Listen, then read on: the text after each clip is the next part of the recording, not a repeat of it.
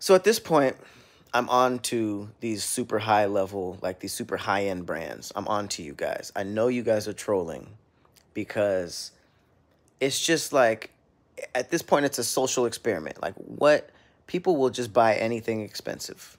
Alexander McQueen is selling hooves. Hooves. That's high end now. Oh, where are we going? The Met Gala? Let me dress like a goat. Like steer. That's what you want to look like? Steer? Cattle? You cattle foot. Horse horseshoes. People want to be Donkey from Shrek so bad. You look like the and then you got human legs and body. You look like the devil.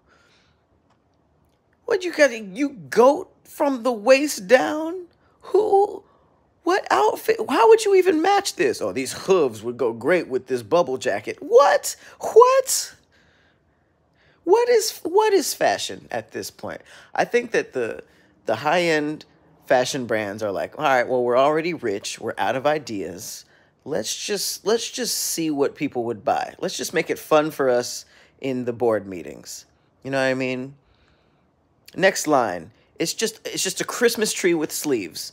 Fit your ass in a Christmas tree. Poke your arms out and just walk around. Yeah, put a star on my head for a hat. Fifteen thousand dollars. That's what what the price tag is.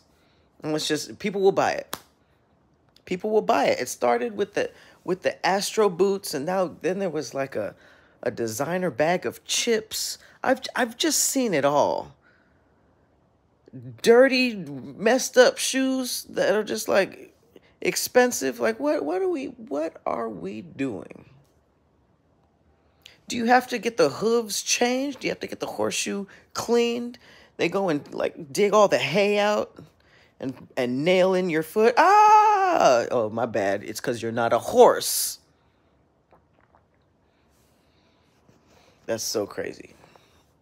That is so crazy y'all wearing hooves. And and at least if you're gonna put on hoof shoes, make it novelty. That should be on Amazon for like $20. And then people show up to the party as a joke. Hey, look, I got hooves. Y'all trying to flex in the in the club? Check these hooves out.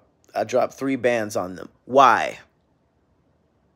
Doesn't flexing involve a, a certain level of jealousy? No one who's who is jealous of your hooves? You know how nasty your toes have to be if you want to swap them out for hooves? Some of y'all got hoof looking feet anyway. But this is just, this is outrageous.